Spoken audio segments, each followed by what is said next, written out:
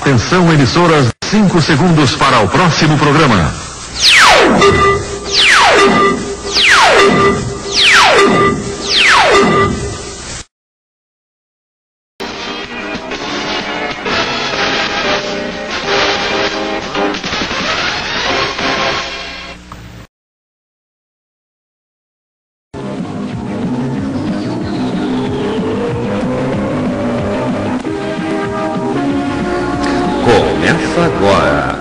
Jornal André Amorim, um jornal cheio de notícias até o fim.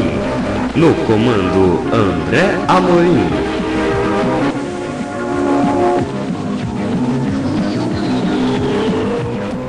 Olá, muito bom dia, boa tarde, boa noite. Brasil! Tudo bem? A partir de agora, Jornal André Amorim, jornal cheio de notícias até o fim, são 2010 de hoje. Segunda-feira, 25 de junho de 2012, vamos às manchetes. Ibama, 488 vagas com salários de até 5,4 mil reais. Fim da exclusividade beneficia 33 mil profissionais. Táxi liberado no Galeão. Na sessão ataque, Flu salvou Rio na rodada. É, na sessão na página 10 do dia, Madureira sorriu. Você vai saber a respeito é, ao longo você vai, saber, você vai saber a respeito do novo parque de Madureira ao longo do jornal. Essas outras notícias de capa de um dia você vai saber, junto com algumas notícias do site Chico e com algumas notícias do site Proteja Teus Filhos.org. Hoje tem selo número 2 da chaleira da promoção Cozinha do Dia. E tem mais. Tem selo Coringa das Chicas da promoção Cozinha do Dia do seu Jornal do Dia. E hoje tem selo número 2 da promoção Oscar do Dia do seu Jornal do Dia. Ok? O Jornal André Moinho começa agora. Estas e outras notícias você vai saber logo mais no Jornal André Moinho que já está no ar para você.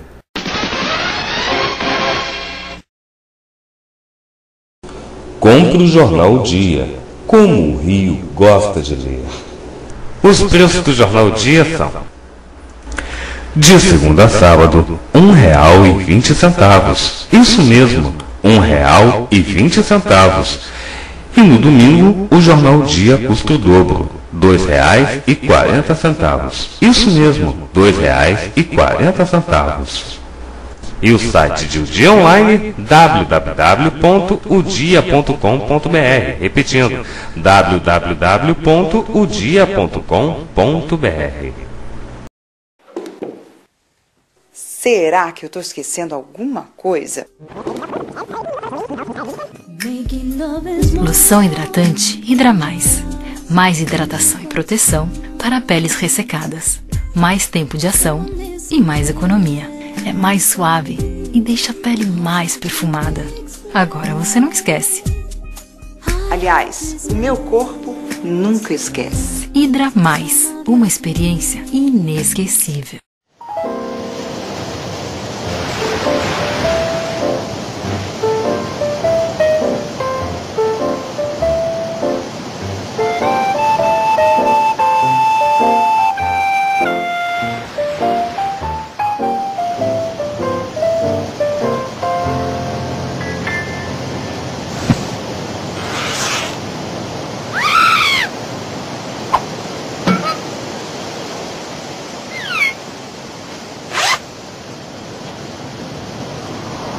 Quem quer um Hareburger?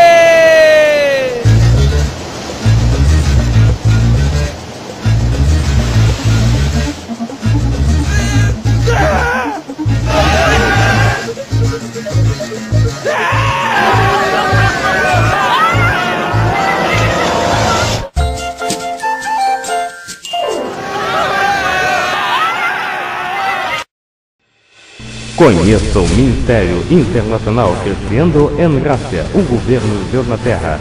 Sede Nacional, Rua Barão do Bom Retiro, 88, Engenho Novo, Rio de Janeiro. CEP 20.715-003. E o telefone é o Céu Operador 21 2461 0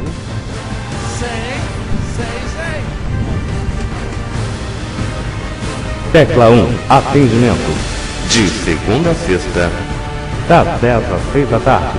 Tecla 2, gravar, comentário, elogio, sugestão ou crítica.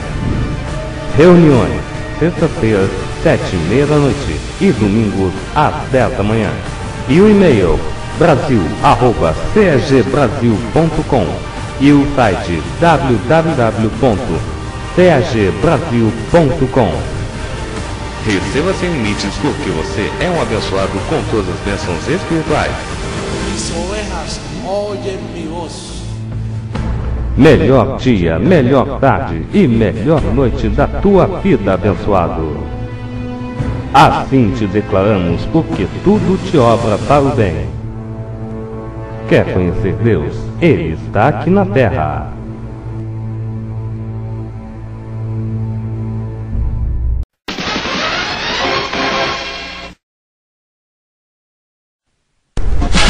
Piadinha.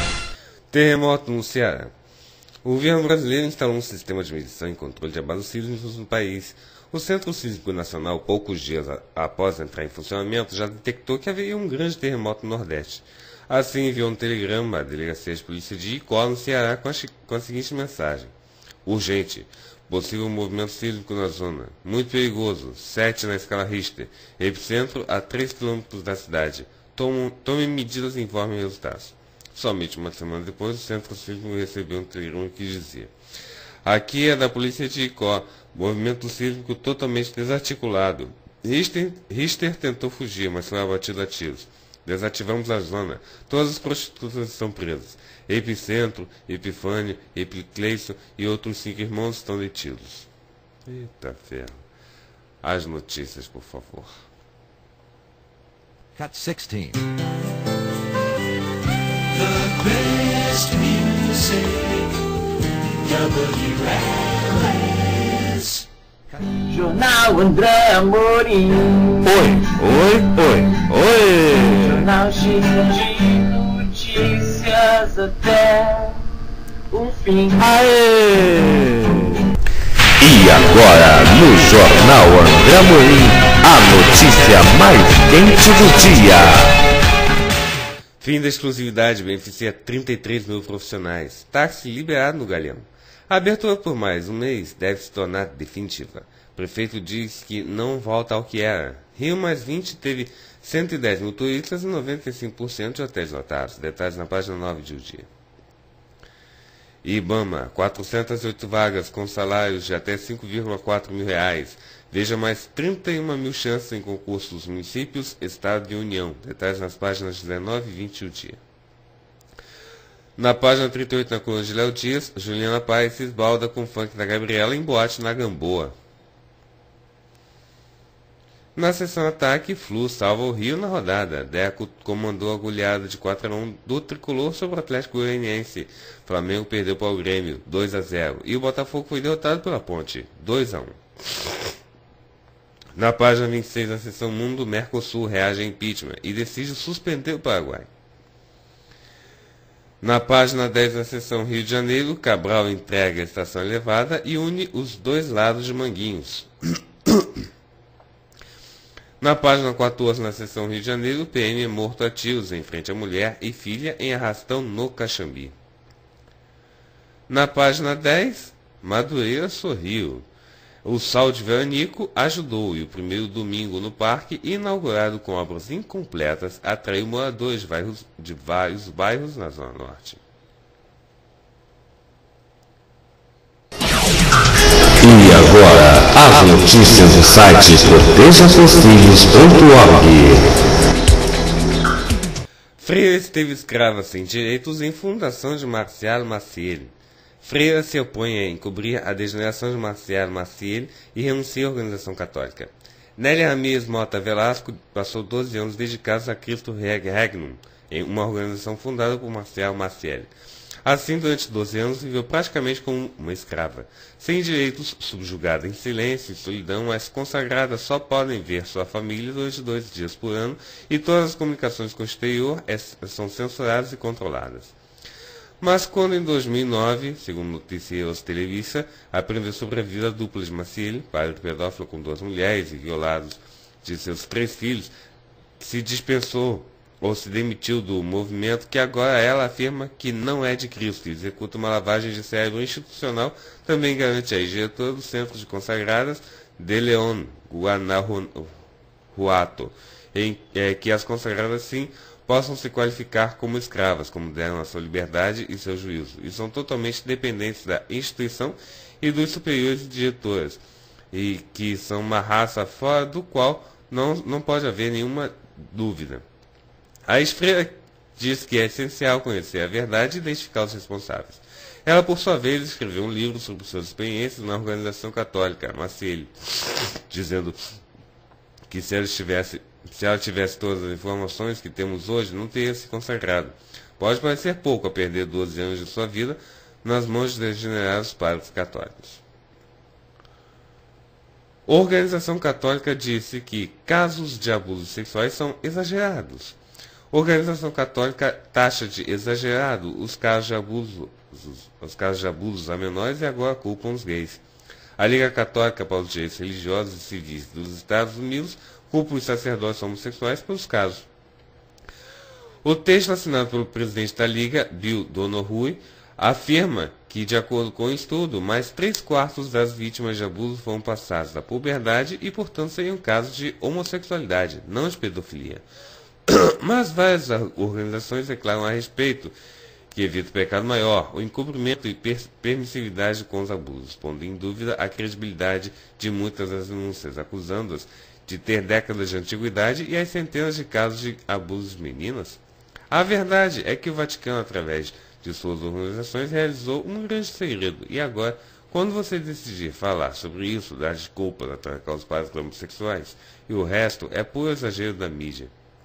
Dois blocos, de acordo com Tarcísio, Tarci, Bertone, secretário de Estado do Vaticano, encobridor no caso das crianças surdas e mudas abusadas em Wisconsin, disse que haveria uma relação entre homossexualidade e pedofilia, tem de ser muito cara de pau para isso. Parece que vamos ter de lhes dar um dicionário para ler o significado dessas duas, palavras e definir a diferença grande que ambas contêm. Total repúdio pelos grupos LGBT e alguns governos, como espanhol e francês, que têm uma lei que separa a igreja e Estado, que seria um exemplo a seguir para outros países. E agora, as notícias do site O Fuxico. A Fazenda. Se saísse, ajudaria apenas a parte burocrática, diz Angela Bismarck. A modelo está em luto pela morte da irmã. Angela Bismarck foi a última a levantar da cama neste domingo, dia 17. Visivelmente abatida, a peoa preferiu permanecer quieta por algum tempo, enquanto tomava o seu café da manhã sozinha. O silêncio de Angela foi respeitado por todos os outros peões. Depois a modelo foi para a varanda, onde teve uma longa conversa com Cheyenne e foi tomar um pouco de sol para se aquecer com o chapéu tampando o rosto. Deitada na espreguiçadeira, a modelo conversou com Silvinho sobre sua situação. Se eu saísse, ia ajudar apenas a parte burocrática, disse sem puxar papo. Na noite, de, na noite de sábado, dia 16, Angela Bismarck recebeu a triste notícia da trágica morte de sua irmã. Na ocasião, o modelo preferiu permanecer no reality show, abrindo mão de ao velório e ao enterro de Angelina.